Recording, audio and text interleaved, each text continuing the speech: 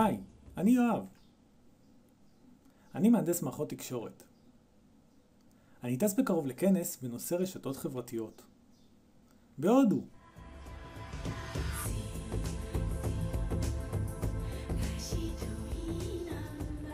אבל איפה ישן בהודו?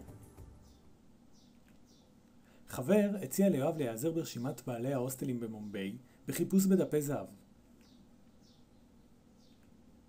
וואו, איזו רשימה ארוכה. מה אעשה? אני יודע. אחפש את כולם בפייסבוק, ואחשב מי הכי קרוב אליי. מי שיהיה הכי קרוב, ייתן לי בוודאי את ההנחה הגדולה ביותר. כעבור שני לילות. עשרה אופים, כל כך רחוק ממני, מה אעשה? יש, אפילו את אלגוריתם הייפר BFS.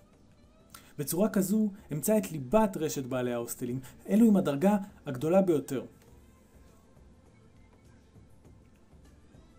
אלגוריתם הייפר BFS הוא אלגוריתם המסייע בניתוח גרפים על ידי מציאת קירוב בין המרחקים הקצרים ביותר בין כל שני קודקודים ברשת.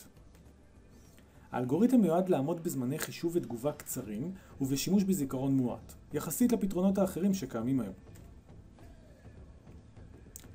כאשר אהיה חבר של מישהו מהליבה, אהיה קרוב לכולם, וכך אנצל את הקרבה לקבלת הנחה. הודו, I come. יואב הפעיל את האלגוריתם, והפלא ופלא. שלושה אופים, יש! עכשיו יישאר לי כסף לכרטיס חזור.